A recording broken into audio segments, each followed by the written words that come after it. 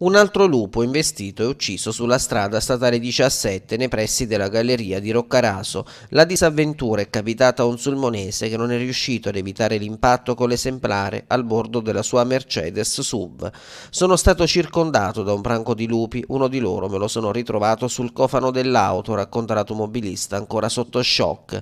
La vettura ha riportato evidenti danni a causa del sinistro, mentre gli occupanti dell'auto, il conducente e il fratello sono usciti fortunatamente gravemente lesi senza necessità di cure ospedaliere. Per loro nessuna conseguenza dopo lo scontro con l'animale. Sul posto sono intervenuti carabinieri forestali per tutti i rilevi del caso, mentre è stato allertato il servizio veterinario ASL per l'analisi e la rimozione della carcassa.